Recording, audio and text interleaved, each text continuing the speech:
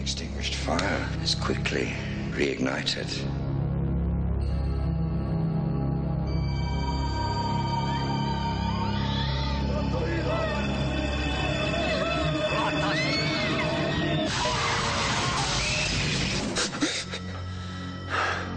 As a boy, he witnessed a terrible crime. She was sacrificed as part of a demonic ritual.